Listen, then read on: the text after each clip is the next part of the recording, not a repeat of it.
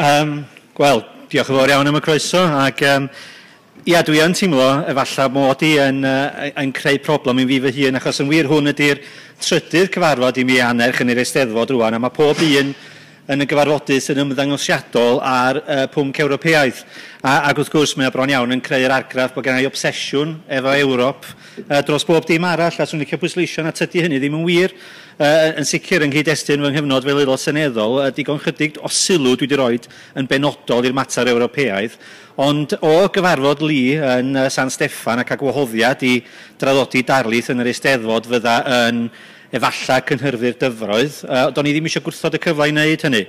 Ond dwi yn meddwl bod o'n bwysig i mi nodi er gweitha'r ffaith bod pobl efallai'n credu bod gennau obsesiwn Ewropeaidd ac wrth gwrs dwi'n helpu fy hun yn hynny o beth trwy fod hefyd yn un o noddwyr mesur James Wharton sydd yn debygol o sicrhau referendwm ar ddyfodol Prydain yn Ewrop ac um, na i ddim ailadrodd y ddadl o'n i'n wneud yn yr ddarlith dydd mawrth ond dwi yn credu bod pleidlais ar ddyfodol Cymru yn Ewrop yn llawer iawn mwy tebygol uh, na mae bobl yn gredu. Felly mi fydd y pwnc yma yn parhau yn bwnc o bwys yn y blynyddoedd sydd i ddod. Ond mae fo'n yn hollol gywir i ddatgan na'r hyn sydd gennau i heddiw fwy na dim arall ydy nid methiant unrhyw agwedd o bolisi Ewropeaidd.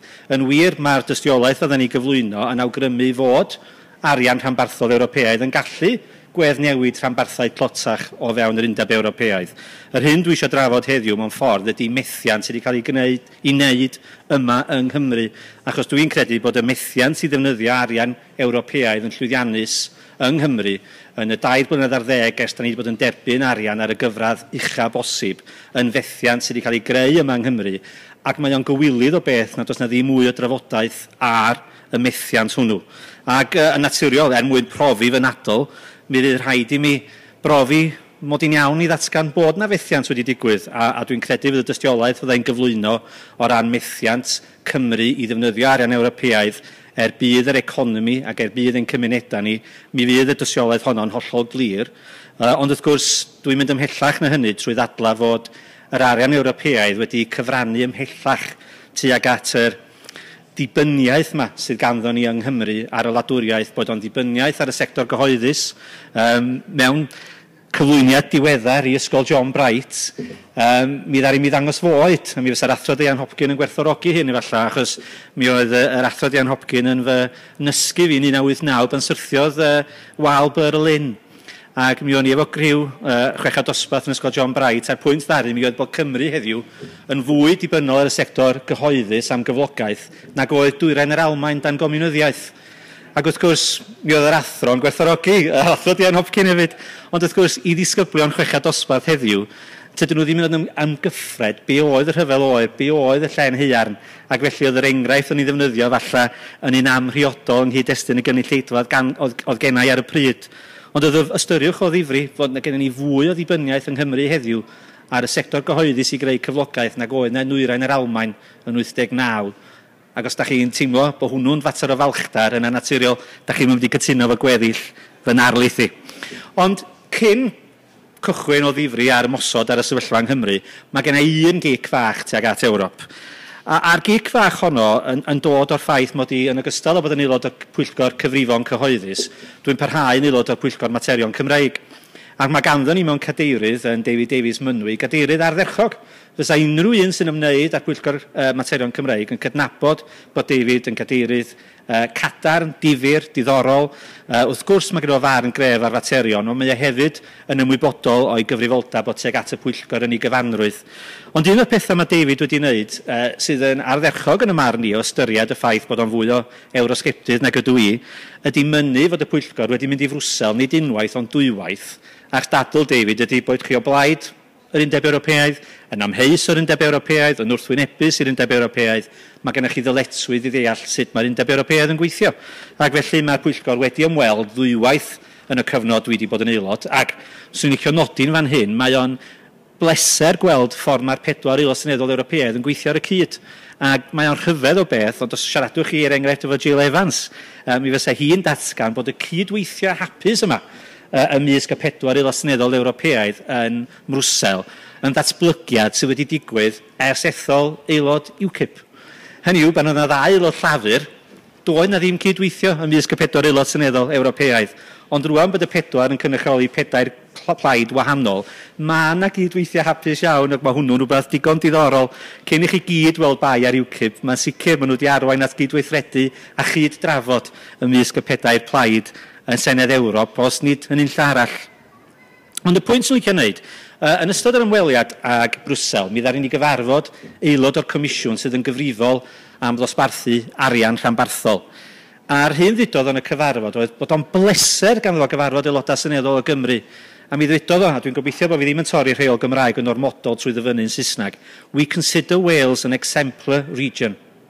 Ac wrth gwrs mi fysa bobl yn y cynulliad a swyddogion weffo wrth i bodd, uh, weffo di'r Wales European Funding Office gyda llaw. Mi fydden wrth i bodd y glwad bod Wales yn exemplar region. A dyma fi'n gofyn iddo, wel, sut yn y byd ydych chi'n gallu deud hynny o ystyried y ffaith bod bob un mesur o befformiad economaidd Cymru wedi dirywio ers ni dderbyn arian Ewropeaidd? Ac ateb y gwrban heddig oedd, well, in Brussels we measure compliance, not outcomes. A dyna ni, y gwir plaen amdani, mi allaf fod yn slogan i'r Gymru newydd. Anghofiwch am yr economi, sbiwch ar y gwaith papur, boes. A, a dyna un o'r pryderon sylweddol sydd gennau. Ac o ran cefndir y pryderon sydd gennau bod ni'n sicrhau bod y gwaith papur yn dda, ond yn poeni dim am yr hyn sydd yn digwydd efo'r arian sy'n cael ei wario. Nid cwyn ddiweddar ydy hon. Dwi'n credu bod o'n deg i mi ddadla mod i wedi trafod y broblem yma cyn dyfodiad arian Ewropeaidd amcan un. Achos cyn amcan un, mae yna rhai o'n chi'n y gynulleidfa'n sicr, a dwi'n edrych ar gyn briwethedwr antiteifi fan hyn falle, sydd yn cofio arian 5B. Mi oedd arian 5B yn bodoli i gefnogi ardaloedd o Gymru cyn i ni erioed cael ceiniog arian amcan un.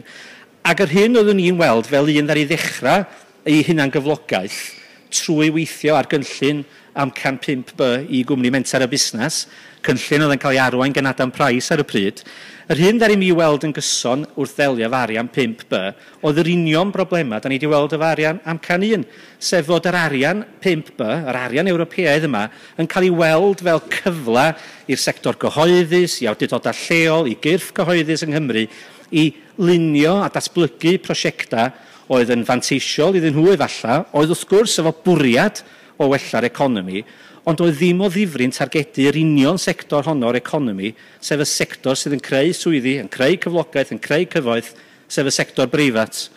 Ac mae wir i ddweud yn ystod fy amser yn gweithio efo arian 5B, dwi'n credu mod i'n gywir i ddweud bod y cynllun mwyaf dan arian 5B um, gafodd i arian a, a, i, i arwain gen y sector breifat, oedd cynllun llechu Cymru, Welsh Slate, cynllun ddari mi ddatblygu law yn llaw efo Adam fel aelod y staff menter y busnes, cynllun ddari ddenu swm sylweddol o arian cynllun oedd yn cael ei arwain gen fusnesau preifat a cynllun ddari am gyfnod, sicrhau bod yna newid sylweddol wedi bod yn y farchnad ar gyfer llechu Cymreig o fod yn llechu to i fod yn llechu llawer iawn mwy pensaerniol. Ond eithriad prin oedd hynny. Ac i brofi wrth yn rhagor bod fi'n pregethu hen bregath, uh, dwi'n cofio sgwennu papur law yn llaw efo Adam, fo mae'n digwydd, i gyngor Gwynedd yn nodi be oedd gwendida arian 5B, a hynny cyn bodolaeth cyn yn ei dderbyn arian amcan un. A'r pwynt sylfaenol a chreiddiol oedden ni'n neud oedd bod yna ddiffyg presenoldeb y sector breifat yn y modd mae arian Ewropeaidd yn cael ei ddosrannu. Oedden ni'n gwneud y pwyntiau yma cyn i arian amcan un gael ei ddosrannu. Ac yn wir, dwi'n cofio gwneud y pwynt hwnnw uh, mewn cynhadledd yng Ngwestur Seons Manor wrth ymwyl Cynarfon. Ac uh, ymysg y gynulleidfa oedd dau aelod newydd i hethol yn y cynulliad, sef yr athro Phil Williams a David Wigley. A gwrthod y ddadl ddaru'r ddau, gwrthod ym mhrydero ni. A, a'r hyn dwi'n gofio gen Phil Williams yn benodol, oedd i ymdeimlad o y byddai'r arian oedden ni'n dderbyn ar gyfer amcan un mor sylweddol mi fydda fo yn ei hun yn draws newidiol. A, ac wrth i ni ystyried methiant am can un, mae rhaid i chi gofio hynny, mi oedd Phil Williams un o'r bobl mwyaf galluog, os nad y mwyaf galluog, sydd wedi cael ei ethol i'r cynulliad, yn sicr bod maint y waddol Ewropeaidd oedden ni'n mynd i dderbyn, mor sylweddol, nes y bydda fo ynddo ei hun yn sicrhau bod y sector breifat yn dod yn rhan o'r broses. Dyna oedd yr hyder o ganddo fo. Rwan, yn y marn ni, efallai bod yr hyder hwnnw wedi bod yn naif, ond yn sicr mi oedd o'n gwbl anoderus yn ei farn ar y pryd, y bydda maint yr ymyrraeth Ewropeaidd yn ddigon i sicrhau y bydda y sector breifat yn dod yn rhan o'r broses. Ond uh, yn anffodus, dwi'n credu bod hanes yn dangos efallai bod o wedi bod yn ang anghywir. Ac felly mae hynny droi at sefyllfa economaidd Cymru yn y dair blynedd ar ddeg ers i ni fod yn derbyn arian Ewropeaidd. Rwan, dwi yn honni fod oedd wedi bod yn fethiant sylweddol. A gadwch ni ystyried y ffeithiau. Yn ôl yn 1999, pan y datblygwyd y syniad o drio sicrhau arian Ewropeaidd yn wir, pan y datblygwyd y syniad o greu'r map artificial yma o Gymru, sef Gorllewin Cymru a'r Cymoedd, a dydw i ddim yn ymosod ar greu y map hwnnw. Dwi'n deall yn iawn pan fod yna unigolion yn y cynulliad a chyn dyfodiad y cynulliad wedi galw am greu map fydda'n sicrhau arian Ewropeaidd i Gymru. Mi oedd yr rhesymeg dros wneud hynny'n gadarn, sef sicrhau bod Cymru yn derbyn arian er mwyn gweddnewid ein economi. Felly dwi ddim yn ymosod ar greu y map artificial braidd hwnnw. Os wedi'r cyfan, mae'n anodd iawn gweld beth sydd gan ddyffryn clwyd yn gyffredin o ran problemau economaidd efo Merthyr. E, mae'n anodd iawn gweld beth sy'n ben llun yn gyffredin yng nghyd-destun datblygiad economaidd efo'r hyd aman. Dyna di'n heimlad i'n gyffredinol. Ond mi oedd y rheswm dros gyrraedd y map yn un clodwyw fyddwn ni'n dadla. Ond yn 1999, mi oedd yna 57 o'r ambarthau yn Ewrop yn denu arian Ewropeaidd ar y raddfa ucha, sef raddfa graddfa amcan 1, 57. Rwan cofiwch, yn 1999, Doedd yna ddim un o ledydd dwyrain Ewrop a geithio dwyrain yr Almain oedd wedi uno fel rhan o'r Almain newydd. Doedd yna ddim un o ledydd dwyrain Ewrop yn rhan o Ewrop. A dyna pam mi oedd bobl yn datgan hwn oedd yn cyfle mawr ni. Mi oedd Cymru yn mynd i gael un cyfle a un cyfle yn unig, achos wrth gwrs y munud y deagledydd dwyrain Ewrop i mewn i'r undeb Ewropeaidd, mi fydda lefel GDP Ewrop yn syrthio ac felly fe fydda Cymru mewn cymhariaeth yn codi uwch law y lefel o 75%. Felly, 1999, 57 rhanbarth yn derbyn arian Ewropeaidd ar y lefel ucha.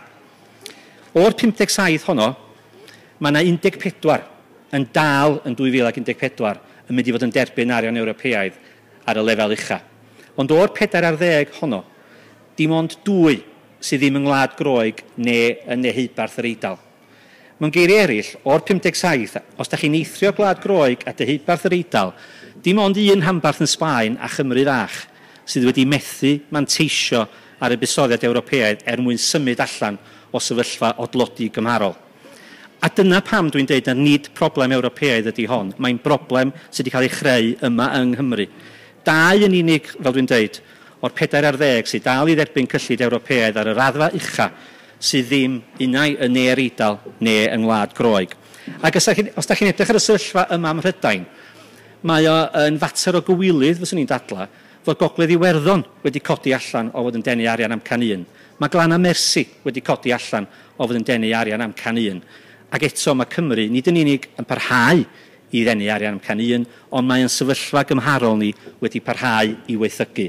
A mae hwnnw yn y marn i yn fater o gwylydd, ac y dylen ni fod yn gofyn cwestiynau mawr pam fod hyn wedi bod yn gymaint o fethiant. Ac wrth gwrs, mae y rheswm da ni dal i, i fod yn gymwys am arian Ewropeaidd ar y lefel ucha ydy o'r herwydd bod Ewrop yn dosrannu yr arian ar sail ffigurau GDP.